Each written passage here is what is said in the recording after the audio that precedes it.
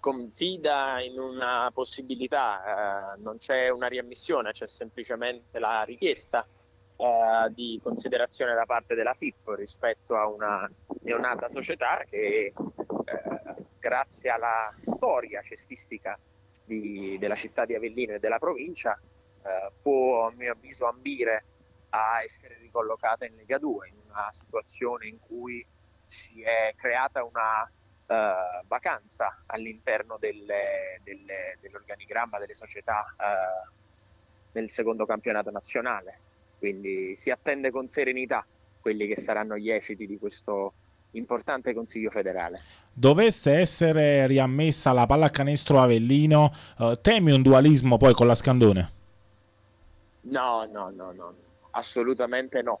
Tutti noi ci auguriamo che la Scandone possa uscire da questa situazione di difficoltà legata alla casa madre e quindi non, no, non ci sarà nessuna contrapposizione, nessun dualismo. Eh, non è nell'interesse di nessuno. Il duo Menotti San Filippo De Vizia pronti a ritornare a costruire una nuova pagina di storia, magari come quella scritta negli anni 2000?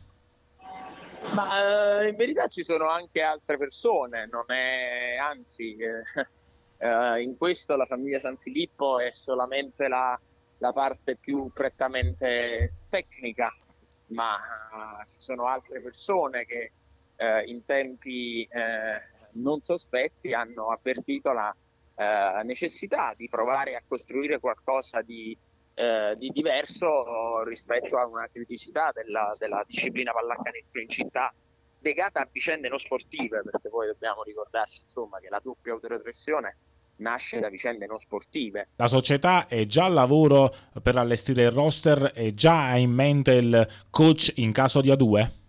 No, no, eh, ci sono state delle interlocuzioni, ma sono tutti discorsi prematuri, sinceramente. Eh, è chiaro che eh, il mondo degli agenti della pallacanestro, in una fase in cui comunque si cerca lavoro per i propri assistiti, eh, ha offerto eh, giocatori anche di buon livello però è chiaro che è tutto prematuro perché è inutile parlare di qualcosa che potrebbe concretizzarsi, ma anche no.